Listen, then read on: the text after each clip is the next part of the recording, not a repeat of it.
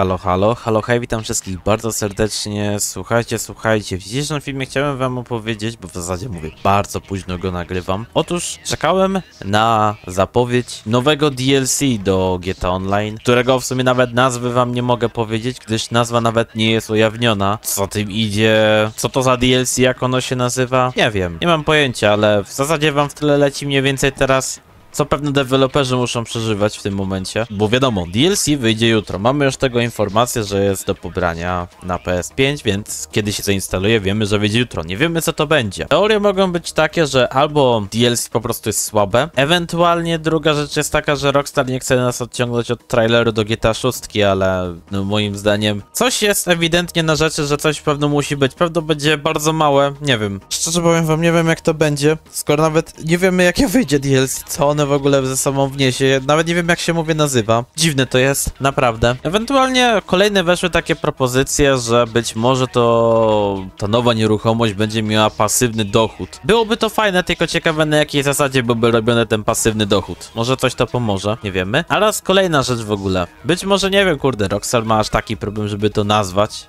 to DLC, że kurde wymyślają sobie nazwę i po prostu wszyscy główkują, co mają zrobić, jak to mają nazwać. Wiesz, każdy się skupił głównie na GTA 6. Tak szczerze mówiąc, nie mam absolutnie pojęcia, ale wydaje mi się, że po prostu jeżeli oni nie wypuścili tego do godziny 20.45, tego już nie wypuszczą przed nowym DLC, a nawet jak wyjdzie nowe DLC, dopiero wtedy dowiemy się, tam po czasie, jak ono w ogóle się nawet nazywa, bo nawet nie wiemy, jak to się w ogóle nazywa. To jest, mówię, to jest najśmieszniejsza sprawa. Nie wiem, czy było kiedyś coś takiego, że dosłownie nie wiedzieliśmy, jak nazywa się, kurde, nowy DLC.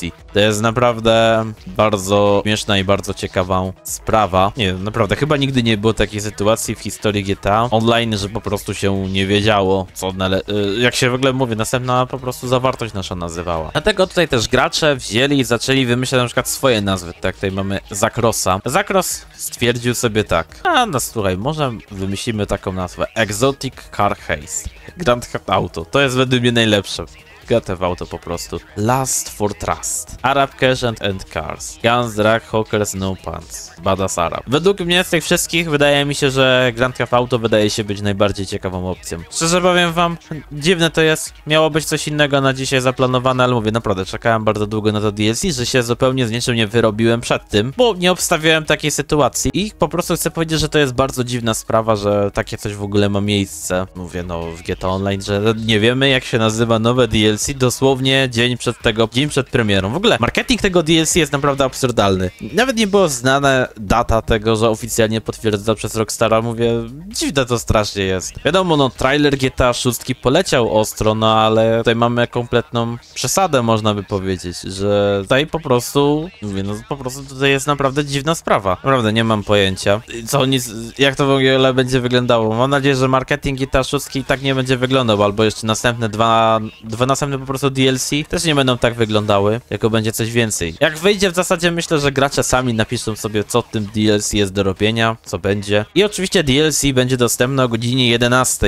dla nas wszystkich. No tak praktycznie, dodajcie sobie tam plus minus 20 minut. To byłby krótki film na ten temat, który kompletnie nie rozumiem o co tu chodzi. Myślę, że chyba każdy z nas jest zdezorientowany, tak jak i wy. Więc to byłoby na tyle i do następnego, cześć.